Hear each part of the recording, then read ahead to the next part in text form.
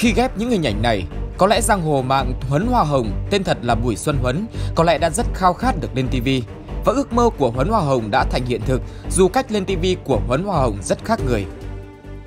Thưa quý vị, đây là hình ảnh giang hồ mạng Huấn Hoa Hồng cạnh nữ ca sĩ Mỹ Tâm và phía trước là biên tập viên hạnh phúc của Đài truyền hình Việt Nam VTV. Còn đây là hình ảnh giang hồ mạng Huấn Hoa Hồng đang làm việc với cơ quan công an. Sự khác biệt ở đây là gì? Đây là hình ảnh thật, còn đây là hình ảnh đã bị giả mạo và cắt ghép. Từ hình ảnh này mà ngày hôm nay tấm ảnh này đã ra đời.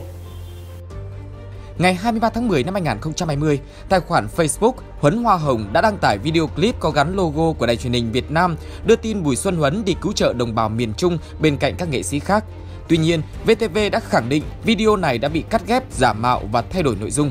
Chiều ngày 26 tháng 10, Cục An ninh Chính trị Nội bộ Bộ Công an vừa triệu tập giang hồ mạng Bùi Xuân Huấn, Huấn Hoa Hồng vì hành vi cắt ghép đăng tải video clip có gắn logo của Đài truyền hình Việt Nam VTV đưa tin Huấn đi cứu trợ đồng bào miền Trung rồi chèn vào phóng sự trong chương trình chuyển động 24 giờ.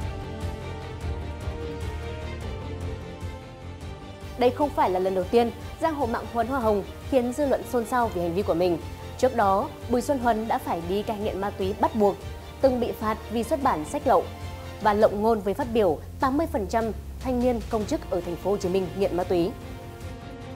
Tại buổi làm việc với cơ quan công an, Huấn Hoa Hồng thừa nhận hành vi của mình là sai, làm ảnh hưởng đến hình ảnh và uy tín của đài truyền hình Việt Nam, cam kết chịu mọi hình thức xử lý của cơ quan chức năng. Trước đó, Huấn Hoa Hồng cũng đã gỡ video giả mạo ra khỏi fanpage của mình vào ngày 24 tháng 10. Hiện Cục An ninh Chính trị Nội bộ đang củng cố hồ sơ vụ việc, phối hợp với các cơ quan chức năng tiến hành xử lý nghiêm theo quy định của pháp luật.